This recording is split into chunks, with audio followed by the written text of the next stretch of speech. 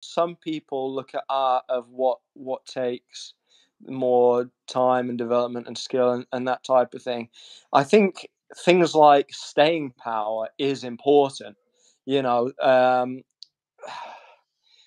like some things become cultural phenomenons, uh, like Shakespeare, and are preserved generation after generation for their value. And and so, you know, if you look at something like stone carving versus playwright, um, Shakespeare takes a lot of work to have staying power.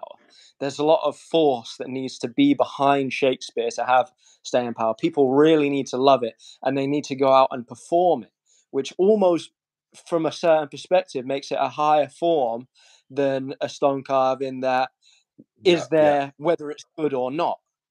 Yeah. Because you just have to put it. You just got to literally carve it into the stone, and it Yeah, but will. other It, will wither. yeah, that's that's so. Yeah, the longevity is a massive, massive thing to it. Definitely. That's got to be a really important part of of um, how you rate these things, like like how are they kept and who keeps them, and you know what's remembered. Sophocles or, or Euripides, there are Greek um, and old plays that have stayed around. I guess you'd need a big historical perspective on that as well.